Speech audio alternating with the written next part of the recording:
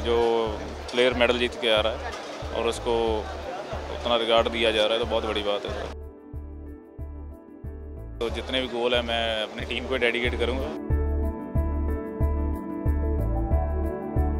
कि आपके सबसे रोमांचक मैच कौन सा रहा जो आपको अभी तक याद हो? क्वार्टर फाइनल पंजाब सरकार की तरफ़ से आज खिलाड़ियों को सम्मानित किया गया हमारे साथ हॉकी टीम के कैप्टन हरमनप्रीत सिंह है।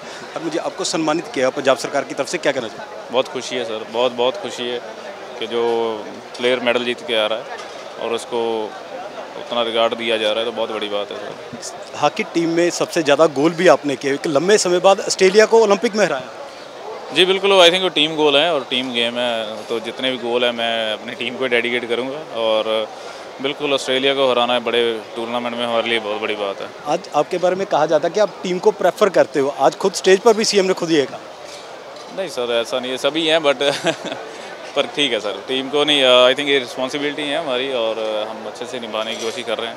दस गोल किया आपके सबसे रोमांचक मैच कौन सा रहा जो आपको अभी तक याद हो? क्वार्टर फाइनल थैंक यू तो क्वार्टर फाइनल मैच सबसे रोमांचक रहा। दस गोल किए। इन्होंने हॉकी टीम में सबसे ज़्यादा गोल किए। चंडीगढ़ से कैमरा पर्सन लालता के साथ रवि जट